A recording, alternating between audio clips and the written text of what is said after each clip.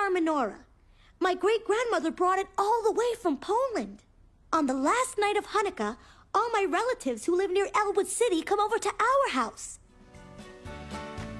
Everyone brings a dish of food they've made. And we have a potluck dinner. You're gonna love my Kugel Bubelah.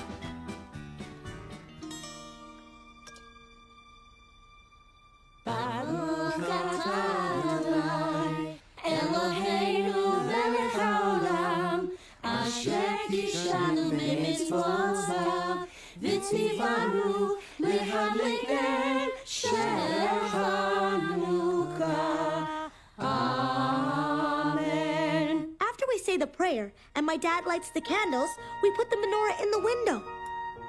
It's a really beautiful moment. It kind of makes me feel like I'm a part of something special.